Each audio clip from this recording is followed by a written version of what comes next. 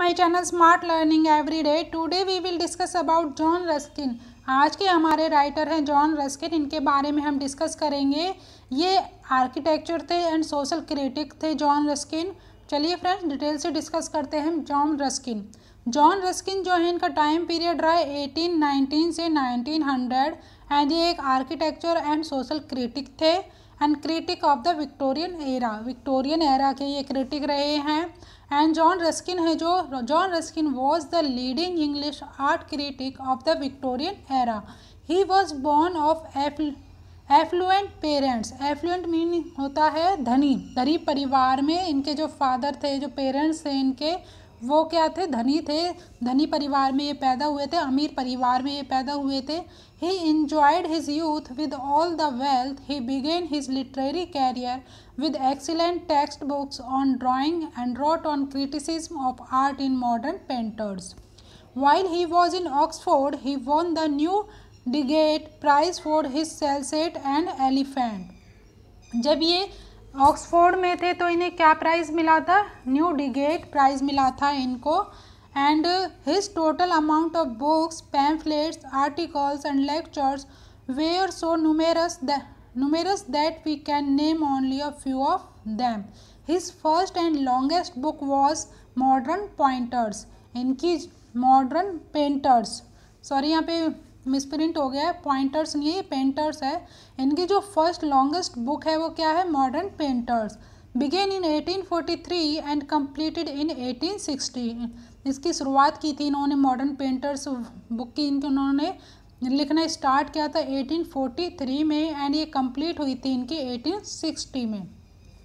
He transforms himself from art critic into the philanthropist philanthropist and reform when he present presents the study of social conditions of his day and the practical problems of his working the history and theory of art इस पे भी spelling mistakes है यहाँ पे इसको ठीक कर लेना ऑफ़ हिज वर्किंग यहाँ पे क्या आएगा working and he spent much of his money and nearly all his life preaching to people who were largely indifferent to his efforts इसमें सबसे मेन लाइन जो है, जो मेन इंपॉर्टेंट पार्ट है इस पैरे का, वो यही है कि उनकी जो फ़र्स्ट लॉन्गेस्ट बुक थी मॉडर्न पेंटर्स उन्होंने उसको लिखना स्टार्ट किया 1843 में एंड ये कंप्लीट हुई थी 1860 में. एंड इन्होंने काफ़ी लिखे थे क्या क्या लिखा था? इन्होंने बुक्स लिखी थी पैम्फलेट्स लिखे थे आर्टिकल्स लिखे थे। And he died in the Lake District a disappointed man his prose work characterise in figure of speech excessiveness of imaginary melody grandeur and loftiness of expressions and इनके कुछ famous works हैं, उनको discuss कर लेते हैं। Modern Painters the Seven Lamps of Architecture ये इन्होंने 1849 में लिखा। द स्टोन ऑफ़ वेनिस 1851 में लिखा। एंड 50 1851 एंड 53 के टाइम पीरियड के बीच में इन्होंने ये लिखा था the stone of Venice and ये जो है, इनका जो ये वर्क है द स्टोन ऑफ़ वेनिस ये थ्री वॉल्यूम्स में पब्लिश हुआ था। The two paths unto the last 1860 में पब्लिश हुआ। The crown of wild olive 1866 में पब्लिश हुआ। अब इन, इनके जो हमने वर्क्स डिस्कस किए, उनको थोड़ा डिटेल में डिस्कस कर लेते हैं। एंड फ्रेंड्स अगर आज की वीडियो आपको अच्छी लग रही है तो लाइक करें शेयर करें सब्सक्राइब करें कमेंट करना ना भूलें। फ्रेंड्स आपके लाइक एंड कमेंट से हमें बहुत मोटिवेशन मिलता है। मॉडर्न पेंटर्स मॉडर्न पेंटर्स जो वर्क है इनका फ़र्स्ट वर्क है। फाइव वॉल्यूम्स में पब्लिश हुआ था ये वर्क इनका।